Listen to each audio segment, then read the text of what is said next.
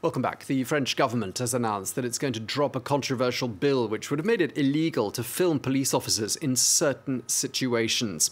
The bill, which sparked serious concern about the freedom of the press as well as the ability to hold the police to account in the event of misconduct, brought tens of thousands of people out onto the streets across France during the weekend who marched against that draft law. Well, Article 24 of the government's Global Security Bill is instead going to be completely rewritten in Parliament.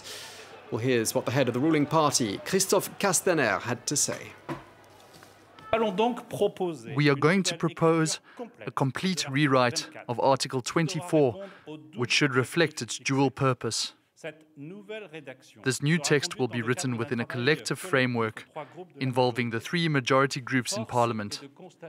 It now appears evident that the legislative and semantic choices we made have prompted concern from citizens who are worried, who are in fact convinced that it would threaten the right to inform, the right to access information, as well as a legitimate system of checks and balances when it comes to police behavior.